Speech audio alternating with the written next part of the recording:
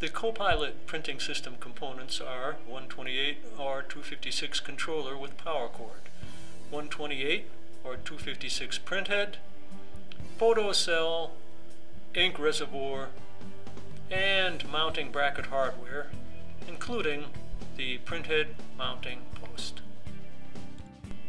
For this assembly, we'll be mounting the printing system on a standard rolling printer stand.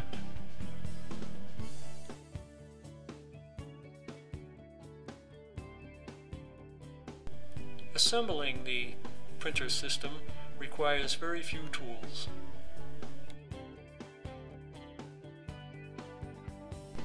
Install the mounting bracket on the printer stand.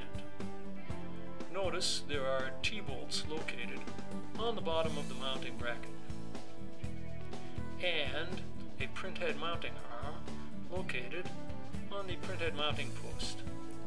Remove the end cap from the extrusion on the printhead stand. Gently slide the T-bolts into the channel and position the mounting bracket. When positioned, tighten the Allen bolts. Keep in mind that your installation may vary. Next, mount the ink reservoir onto the printer system mounting bracket. There are two Allen screws that fit through the slots on the mounting bracket. Position the ink reservoir and tighten the Allen screws. Mount the printhead on the printhead arm. There are 128 and 256 printheads. For our example, we'll be mounting the 256 printhead.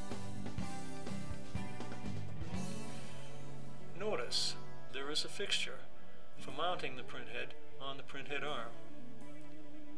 Remove the printhead mounting screw from the printhead mounting arm.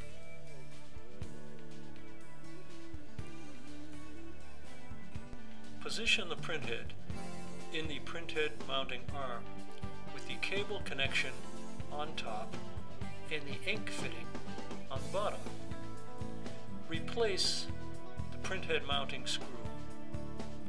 Position the printhead and tighten the printhead mounting screw. Printhead height relative to the ink reservoir is very important. Ensure that the lowest orifice on the printhead is at the same level as the top of the ink reservoir. Not the bottom of the printhead, but the lowest orifice in the printhead should be at the same level as the ink reservoir. Notice our ink reservoir here is a little too low.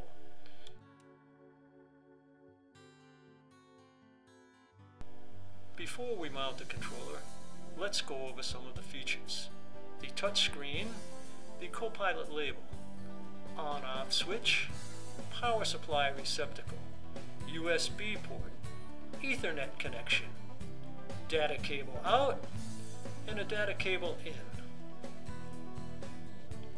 Low ink alarm for printhead 1, printhead 1 connection, printhead 2 connection, low ink alarm for printhead 2 mounting screws located on the bottom of the controller.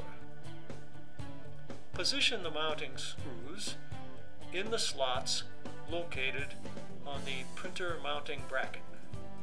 When positioned, tighten the mounting screws.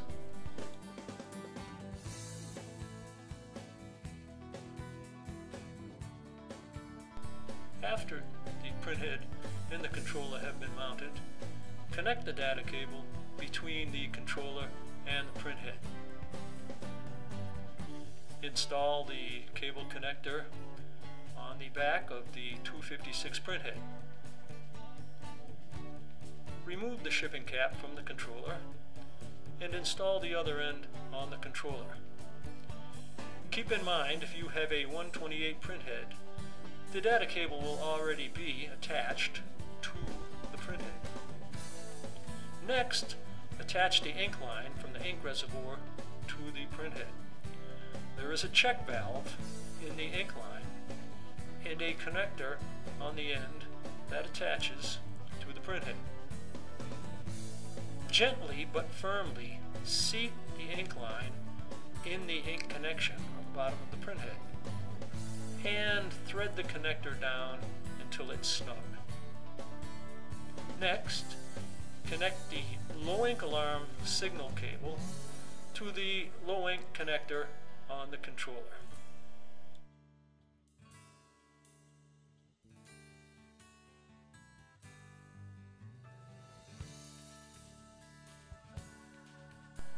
Mounting the photocell is very simple. There are mounting nuts located on the photocell barrel and a connector that connects to the CoPilot controller. Remove the mounting nut from the photocell. Insert the photocell into the photocell mounting bracket on the printhead and tighten the mounting nut.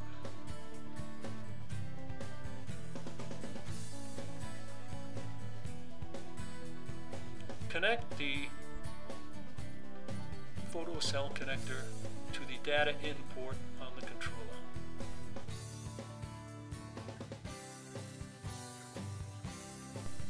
Time to install the ink cartridge. To install the ink cartridge, remove the shipping cap from the ink reservoir. The ink cartridge is shipped with a label indicating the type of ink being installed on the reservoir. The ink cartridge also has an aluminum foil seal. Remove the aluminum foil seal. Gently position the ink cartridge in about the 2 o'clock position relative to the ink reservoir. Firmly twist the ink cartridge into position.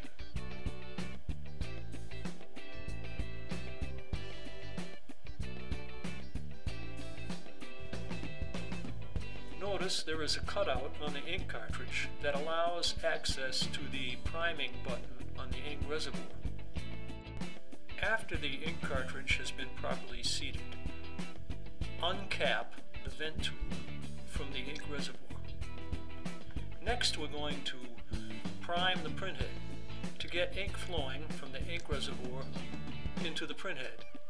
Hold a non-abrasive lint-free wipe gently underneath and very lightly in front of the printhead. Depress the printhead ball in order to advance ink through the ink line and into the printhead. You may have to depress the ink bulb several times to get ink all the way to the printhead. Ink will begin to flow out of the printhead face. Hold the non-abrasive lint-free towel under the printhead and then very gently blot the excess ink off the front of the printhead.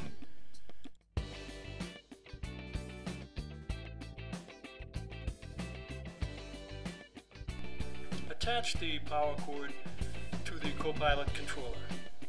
Simply plug the power cord into the receptacle on the controller and plug the other end into a properly wired and grounded outlet. Depress the on-off switch to the on position and the CoPilot will go through a short boot up sequence.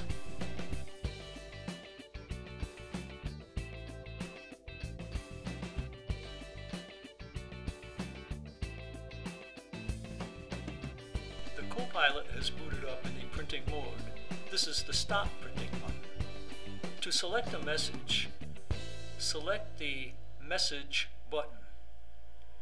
A list of available messages will appear. In our example, we're going to select the default message. Select apply, and the default message will load. Notice the default message is now displayed on the home screen and ready to print. Let's print the message.